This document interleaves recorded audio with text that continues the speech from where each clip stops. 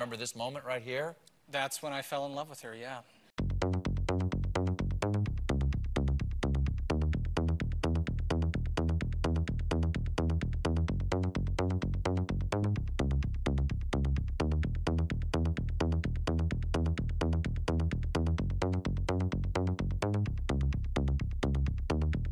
I remember feeling so, so intimidated by my, by my crush on her that I completely blanked and forgot every single one of my lines.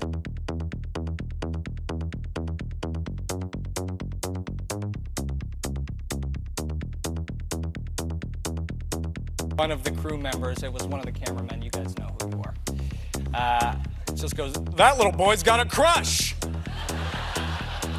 Broke me.